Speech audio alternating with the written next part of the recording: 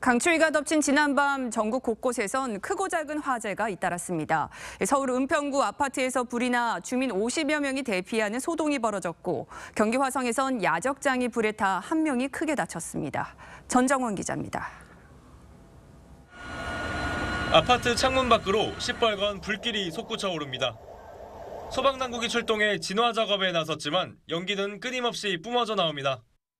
새벽 0시 15분쯤 서울 은평구의 8층짜리 아파트 5층에서 불이 났습니다. 불길이 벽을 타고 올라가면서 아파트 절반이 까맣게 탔습니다.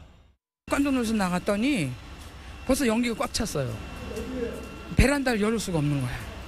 연기가 차가지고. 불이 난 집에 있던 80대 남성이 얼굴에 화상을 입는 등 두 명이 다쳤고 주민 20여 명이 연기를 들이마셔 호흡 불편과 어지럼증 등을 호소했습니다. 연기가 대피를 아예 못했어요.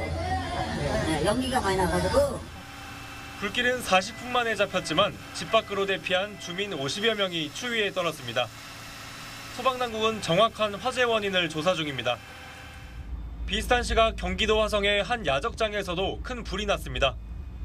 소방당국은 대응 2단계를 발령해 1시간 20분 만에 불을 껐지만 50대 남성이 전신 2도 화상을 입고 병원으로 옮겨졌습니다. 새벽 1시쯤엔 대전 유성구의 4층짜리 빌라 3층에서 불이 났습니다. 다친 사람은 없었지만 주민 10여 명이 대피하는 소동이 벌어졌습니다. TV조선 전정원입니다.